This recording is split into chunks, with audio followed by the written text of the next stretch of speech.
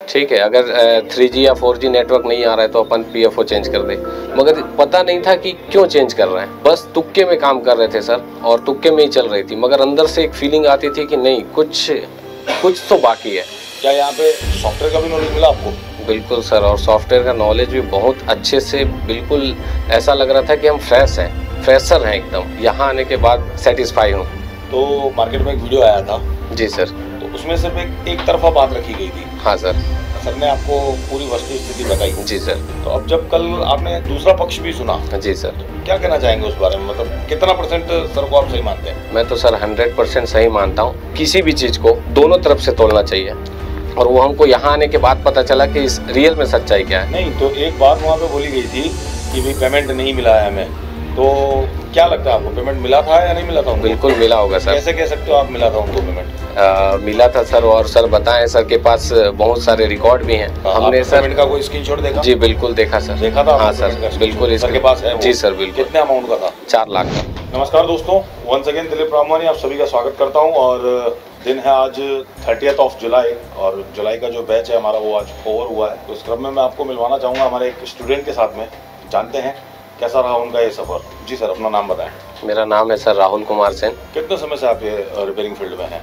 लगभग सर सात आठ साल हो गए। सात आठ साल का मतलब बहुत अच्छा एक्सपीरियंस हो चुका होगा आपको। तो भी आप रिपेयरिंग का काम सीखने के लिए आए हैं? जी सर। ऐसा क्या महसूस हुआ कि आपको रिपेयरिंग सीखनी पड़ी?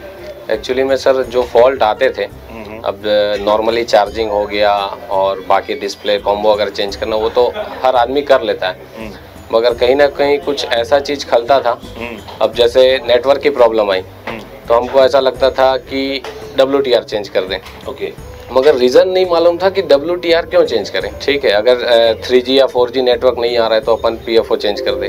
मगर पता नहीं था कि क्यों चेंज कर रहे हैं। बस तुक्के में काम कर रहे थे सर और तुक्के में ही चल रही थी। मगर अंदर से एक फीलिंग आती थी कि नहीं कुछ कुछ तो बाकी है।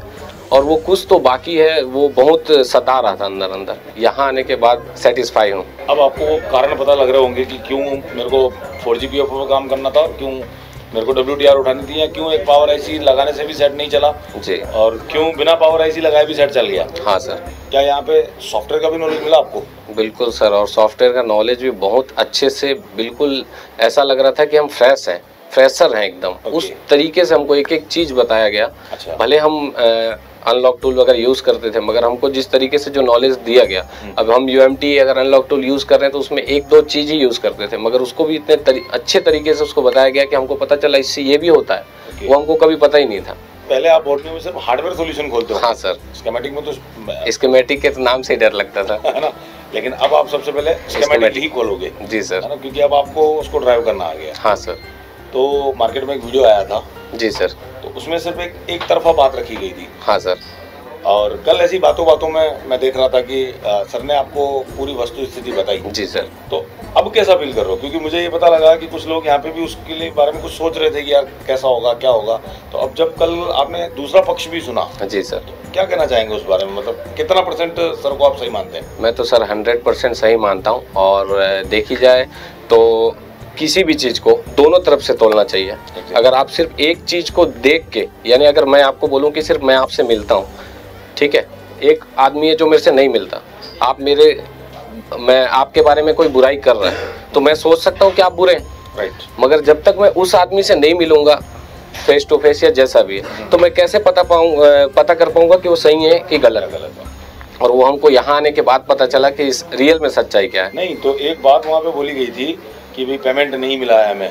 तो क्या लगता है आपको पेमेंट मिला था या नहीं मिला था उनको? बिल्कुल मिला होगा सर। कैसे कह सकते हो आप मिला था उनको पेमेंट अ, मिला था सर और सर बताएँ सर के पास बहुत सारे रिकॉर्ड भी हैं। अच्छा। और अच्छा। वो शायद कभी समय आने पर सर दिखा भी सकते हैं जो देखना आपने- चाहता है। आपने क्या देखा कल सर रिकॉर्ड में? आपने क्या देखा? हमने सर- का कोई स्क्रीनशॉट देखा? जी बिल्कुल देखा सर। देखा था हाँ सर बिल्कुल screenshot? सर के पास जी सर बिल्कुल। कितने अमाउंट का था? चार लाख का। चार लाख का? जी।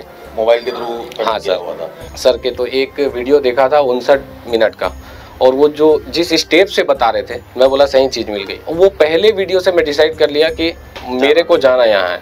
है ना? अगर और मैं एक चीज़ और बोलना चाहूँगा यहाँ आने के बाद ऐसा लगा कि रियल में देखा जाए तो टीआरसी इज़ बेस्ट और टी आर सी क्या होता है? नया आदमी नहीं समझ सकता, क्योंकि वीडियो में क्या होता है टीआरसी? और जो वो बंदा, वो, जो कर लिया टी आर सी उसको किसी चीज़ की ज़रूरत नहीं, वो कहीं नहीं फंसेगा। और हमको 20 दिन में तो इतना नॉलेज मिल गया, मगर एक चीज़ होता है ना कि अगर समय मिलता तो हम ज़रूर टी आर सी ट्राई करते हैं। एक्चुअली देखा जाए तो फ्रेशर्स के लिए वो कोर्स बनाया गया है। मगर कई बार ऐसा भी होता है कि कई व्यक्ति, कई टेक्नीशियन जो है वो एडवांस कोर्स करने के लिए पहुँचते हैं लेकिन जब दो दिन तीन दिन की एजुकेशन लेते हैं यहाँ पे तो उनको पता लगता है कि अभी हमें तो कुछ आता ही नहीं है इस हिसाब से तो। हाँ सर। फिर वो वो निर्णय लेकर के भी टीआरसी को ज्वाइन करते हैं और ऐसे कई सारे स्टूडेंट हैं जिन्होंने एडवांस की बुकिंग कराई थी और फिर उन्होंने अपने स्वयं की इच्छा से निर्णय लिया टीआरसी में गए और आज वो बहुत अच्छे से काम कर पा रहे हैं काम कर भी रहे हैं और रिज़ल्ट भी बहुत अच्छे हैं उनके। क्योंकि वहाँ पे समय बरोबर पूरा मिल जाता है पचास दिन का टाइम मिलता है ना। इतना वहाँ पे काम करवाया जाता है इतनी मेहनत करवाई जाती है कि डर वहाँ से क्लियरली खत्म हो जाता है कि जो भी होगा जैसा भी होगा कर लेंगे करके। तो सही कह रहे हैं आपकी टीआरसी जो है ऑब्वियसली बात है अच्छा है करियर के लिए बहुत अच्छा ऑप्शन हो, होता है लोगों के लिए। और बहुत बहुत शुक्रिया आपने इतना समय दिया आपने कीमती टाइम दिया। Thank you sir